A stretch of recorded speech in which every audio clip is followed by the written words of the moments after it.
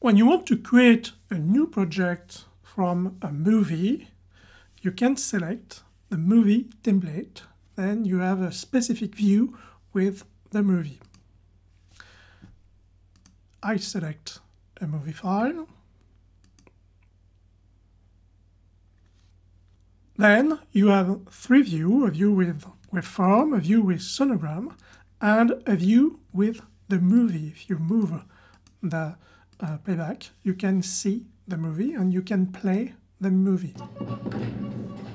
This movie view has two positions.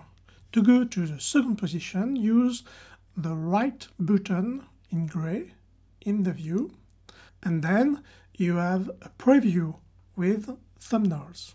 eAnalysis creates one thumbnail each 10 seconds.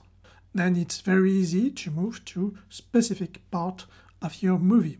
Double click to go to this part.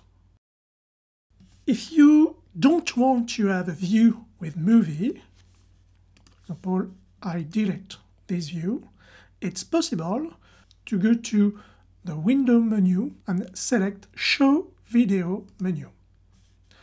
And eAnalysis create a floating window with your movie.